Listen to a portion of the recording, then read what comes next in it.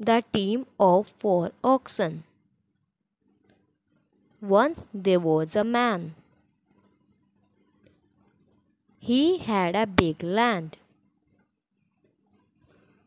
Five oxen protected the land. One lion lived in the forest. One day the lion attacked the ox.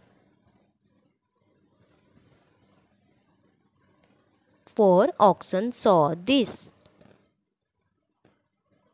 Then they thought, United we stand and divided we fall. Next day the lion came again. He tried to attack. Four oxen stood together. The lion got scared. The lion ran away from the forest. Moral of the story United we stand, divided we fall.